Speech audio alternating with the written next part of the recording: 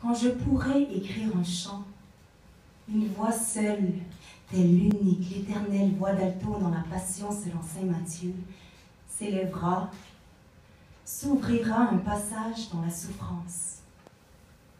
De la prison de la souffrance, elle sortira et réussira par son exercice à trouver le timbre de la liberté.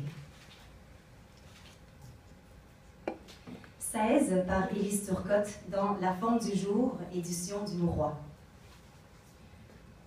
C'était l'ancienne épopée, c'était la loi. Je voulais briser ce mur, je voulais que le monde se fonde en mille miettes. Alors que dire? Je restais un scandale, alors que les prisonniers de l'image cherchaient leurs histoires ailleurs, paralysés dans le cerveau des vainqueurs. Toutes mes vies étaient en guerre. C'était difficile de creuser l'image dans l'image. Difficile de garder le cap sans racines.